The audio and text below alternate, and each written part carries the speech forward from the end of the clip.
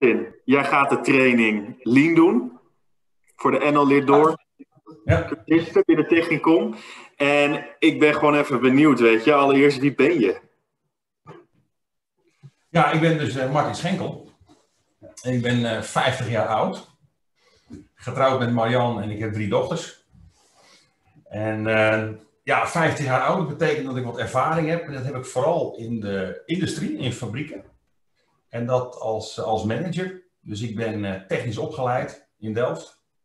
En begonnen bij Nestlé in de voeding. En uh, ja, ik werd heel uh, snel zeg maar, neergezet op de functie van uh, shift manager of wachtchef. En op die manier stapjes gemaakt. En fabrieksdirecteur geworden toen ik 30 was. En meteen in het diepe gegooid met een sluiting van een fabriek. En eigenlijk door die jaren heen van een sluiting van een fabriek, of het opbouwen, of het integreren, of veranderen, op die manier heel veel managementervaring opgebouwd. En ik merkte dat ik vooral ook wel coachend uh, actief ben. Dus dat vind ik het mooist om, uh, om, om, echt ook naar het team toe uh, te kijken. Kan ik mensen beter maken, teams beter maken? En vanuit die coachende rol eigenlijk ook steeds meer gaan ontdekken van wat is nou ja, leidinggeven voor mij. En op die manier ook toegegroeid naar eigenlijk het vak van trainer zijn voor mensen. Ja, Weet je, ik, ik, ik denk, eh, ik ben zelf heel enthousiast. Ik, ik ga sowieso de training volgen. Ehm, ik, heb, ik, heb, ik heb allemaal ideeën. Maar ik ken je ook stiekem wel al wat langer dan vandaag. Wat um, um, voor mensen die jou nog niet kennen, wat, wat buiten alle inhoud, wat kunnen ze nou verwachten? Ben jij, uh, ga je het lekker theoretisch houden of uh, ga je lekker wat praktijkvoorbeelden doorheen gooien? Wat, wat is een beetje jouw stijl? Wat kan ik verwachten straks? Ja, ja, ik denk, ik ben zelf ook een beetje benieuwd, want dat is toch elke keer weer anders. Want het heeft voor mij te maken met, met de mensen. Ik ben iemand die, ja, ik, ik, ik denk, ik proef, ik voel gewoon in, in mensen. Dus ik zit vol met ideeën en ook voor mij is, is verbeteren heel erg de menskant. Dus het is zeker niet een trucje of de theorie. Ik vind wel dat, dat de theorie soms prachtige inzichten kan geven en je bewust kan maken van wow, en, en daarmee ideeën kan geven. Maar um, ja, voor mij is het heel erg de, de, de persoon, de mens die uh, in een bepaalde situatie uh, staat in zijn carrière, plek, uh, in teamverband, bedrijf. Dat is allemaal uniek. Ja. En dan kijken van waar zit nu je uitdaging. En dus ik ben, ik zoek heel erg naar de, de interactie, het, het gesprek, het zoeken. En dat heeft te maken met, uh, met elkaar uh, sparren, delen van vragen, vooral waar je, waar je nog niet uit bent. En dan kijken van kunnen we stapjes zetten. Dus ik zoek altijd naar een essentie, ook in verbeteren. Dus ja. vanuit de theorie zal ik meteen ook kijken van waar, waar zit nou de essentie voor mij. En kunnen we in een, wat ik vaak noem, beweging komen. Ja. En vanuit het bewegen kom je dan tot uh, ja, het, leren, het ontdekken, wat bij de een makkelijk gaat en bij de ander moeilijk. En daarop dan weer de volgende stap zetten. Ja, ja in ieder geval de volgende stap zetten doet iedereen. Hè? Want iedereen heeft nu ook wel overwogen, denk ik, een keuze gemaakt om te, om te zeggen van... hé, hey, ik ga zo'n training lean volgen. En heel veel mensen hebben denk ik al wel eens een keer lean meegemaakt binnen een bedrijf. Hè? En, uh, misschien een paar jaar geleden. En dat is als een nachtkaarsje uitgegaan. Uh, wat ik vooral wel gaaf vind uh, aan jou, is dat, uh, um, en misschien kan je daar nog een, een, een, klein beetje dieper op ingaan, is dat dat lean verhaal niet zozeer een, een gereedschapkist is, maar dat vooral begint bij jezelf.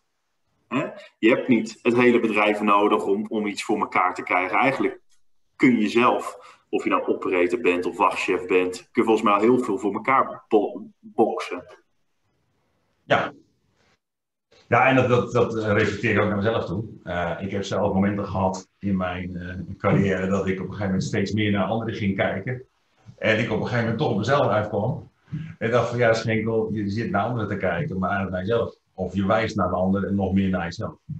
En juist daardoor ook ben ik gaan denken, ja wacht even, uh, in hoeverre ben je nou eigenlijk daarin zelf de speler? Of ben je toeschouwer of ben je ja, heel inactief? Hè? En het mooiste is als je zelf speler bent, dan, dan, uh, dan blijf, hou je dicht bij jezelf, uh, groei je er zelf ook in. En er is altijd ruimte. Ik heb al uh, mijn, het begin van mijn carrière vrij snel, wat net zijn, sluiting meegemaakt. Hmm. dat lijkt een eindpunt. Ik kan je verzekeren, voor heel veel mensen was dat weer een, een nieuwe boost voor hun carrière. Een nieuwe stap naar voren toe. het weer zelf in de hand nemen van de carrière. Het moest wel, de urgentie. En toen gingen ze de stap zetten. Dus ehm, ik zoek daar ook naar en ik merk dat mensen dan echt uh, als, als persoon ook uh, ja, enorm kunnen groeien en ontwikkelen, heel veel energie krijgen. En dat is prachtig om te, te zien. Ja. En uh, ja, dat gun ik iedereen hè, die hier ook instapt. Dus het is inderdaad van jezelf en in jezelf die verbetering zoeken en stappen zetten. Ja, en dat is geweldig. Niet denken goed of fout, maar gewoon een stap in de ja. Voor, voor de mensen die nou niet kunnen wachten tot de eerste lesdag. Wat zou jij nou aanbevelen? Wel, eh, heb je een, is, is er wat gaafs te zien op YouTube? Is er een leuk boek te koop? Waar kan ik mee beginnen als ik nu gewoon wat wil gaan doen? Als je nu wat wil gaan doen, hebben we natuurlijk het materiaal al uh, uh, via Technicon My College, wat best wel op een aantal gebieden bewust, bewust een beetje dieper ingaat op instrumentjes. Dat is een beetje koude, maar dat is ook om een beetje te pesten al van nou, ga maar spelen. Dus dat is zeker een, een element. Ja. Um, nou ja, zelf heb ik op mijn, uh, mijn website uh, van Schenkel gerealiseerd ook wel uh, materiaal, filmpjes van interviews met Amerikaanse schrijvers. dat is iemand die mij enthousiast heeft gemaakt ook weer in, in het denken in verbeteren. Dat is Robert Mauer. Ja. Nou, ook gesprekken aangegaan en die interviews staan gewoon gratis te downloaden op internet. En uh, ja, zeker uh, ja, hou het. Uh, YouTube heeft ook best wel hele leuke, spontane filmpjes van mensen. En dat geeft flarden, dat geeft ideeën. En sta je daar niet blind op van zo moet ik het doen. Maar kijk dan vooral eens, probeer eens te proeven, wat spreekt je nou aan? Wat, wat, waar zoek je zelf naar ook binnen jouw omgeving, binnen het bedrijf, binnen je team, op je werkplek? Waar, Waar zoek je naar? Waar, heb je, wat zou je nou beter willen? Wat, wat vind je fijn? Wat zou een stapje zijn? En dan daarmee de training instappen. Dat is geweldig. Gaaf, gaaf. Nou ja, ik heb in ieder geval heel veel zin in. Ehm, we gaan in ieder geval dit filmpje ook uh, binnen het LMS-systeem zetten, binnen het leersysteem zetten. Uh, dit is de voorstelronde. Um, ja, en ik zou zeggen, heb je nog meer vragen voor Technicom of voor jou, Martin? Uh, eerste les hebben we daar denk ik de ruimte voor. Hè?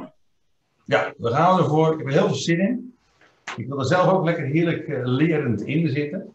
En uh, ja, dan wordt het gewoon uh, mooie sessies. En ja, nogmaals, kijk er naar uit. En alvast succes in de voorbereiding. Ja, nou, dat doen we. Dankjewel. Ja.